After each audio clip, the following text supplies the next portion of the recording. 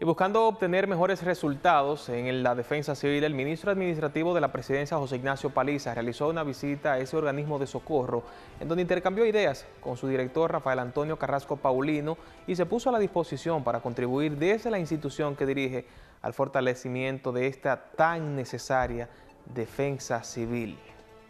Las demás instituciones vinculadas al Ministerio de la Presidencia, administrativo de la Presidencia, para que exista realmente un, acercamiento y una vinculación mucho más directa a lo que tradicionalmente ha habido. Yo no sé si anteriormente eh, cuál era la relación con el Ministerio